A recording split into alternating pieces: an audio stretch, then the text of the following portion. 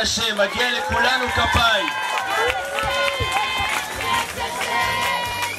תודה מיוחדת למשפחת גרבר שניצחה על התוכן של הערב הזה אי אפשר להגיד בגדול, בענק.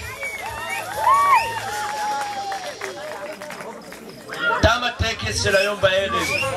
ורק התחלנו את ה-24 שעות הקהילתיות. מחר יש לנו עוד הפנינג גדול אחר הצהריים. וארוחת ערב יישובית שכולנו יחד עם תוכנית. אני מבקש מכולם לעזור בקיפול האירוע, אם זה איסוף כיסאות, כל אחד אני מזכיר לקחת את הציוד האישי שלו עם אישורים מרצלת